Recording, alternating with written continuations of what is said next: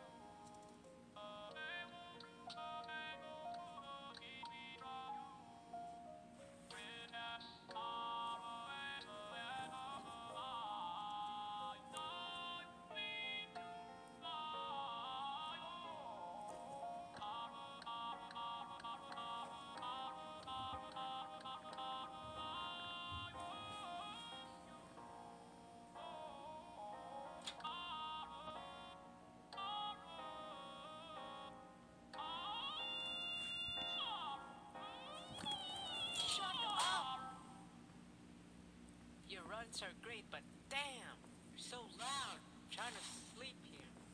Damn, stupid NPC. What?